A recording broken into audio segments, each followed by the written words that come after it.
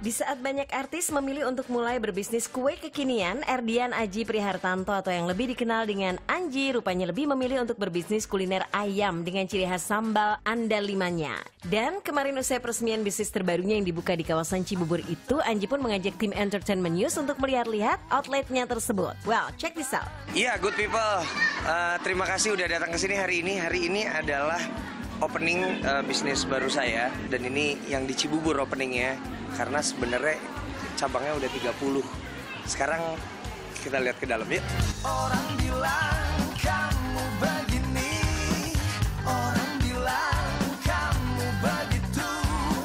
Jujur saja ku tak peduli, aku hanya ingin denganmu. Jadi di sinilah tempat ya segini doang.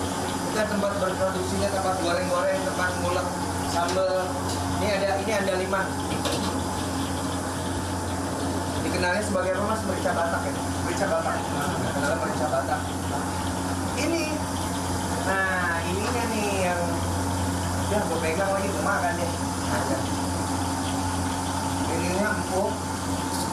Serius. Saya tidak akan merilis usaha yang nggak saya suka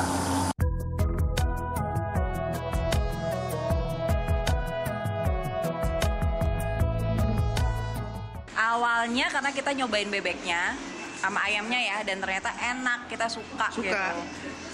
saya juga bilang suka banget gitu. Terus ternyata pas ngeliat-ngeliat loh kok ada franchise-nya ya? Nah kan uh, istri saya tuh sekarang tuh um, udah nggak bekerja keluar Cibubur. Memutuskan gitu. untuk bekerja di sekitar rumah. Memutuskan untuk bekerja di sekitar rumah. Ada online uh, online bisnis online dan terus saya bilang kita buka aja makanan ini nih kayaknya enak deh karena saya suka gitu.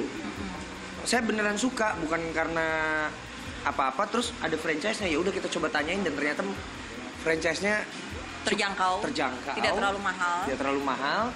Dan akhirnya setelah kita komunikasi malah kita jadi partner gitu percaya kamu. Karena kesibukannya di dunia entertainment untuk menggantikan dirinya, Anji pun mempercayakan sang istri untuk memegang segala kendali bisnisnya yang satu ini. Iya, terlibat. Bahkan nggak cuma pembukuan, nggak masalah keuangan, belanja. Sekarang aku lagi rajin belanja. Bagus. Dia istri saya jadi lebih wanita sekarang. Jadi pagi-pagi mau ke mana? Mau belanja dulu ya, gitu ke pasar belanja atau enggak nyapu nyapu di sini beres beresin. Ku harus ber